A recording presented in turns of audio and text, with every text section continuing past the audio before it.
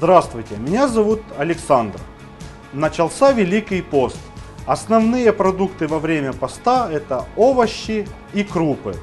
Сегодня мы приготовим рис с овощами.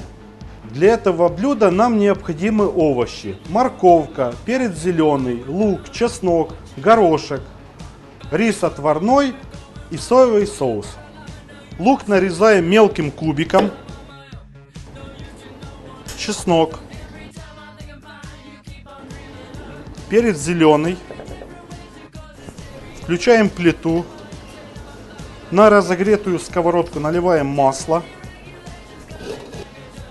И добавляем овощи. Обжариваем овощи. В овощи добавляем отварной рис. Все тщательно перемешиваем.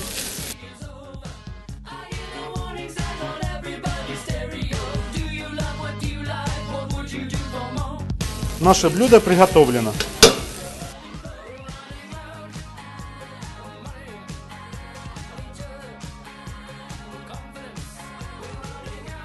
Приготовление риса с овощами займет 10 минут. Это очень удобное блюдо для вашего быстрого обеда. Приятного аппетита!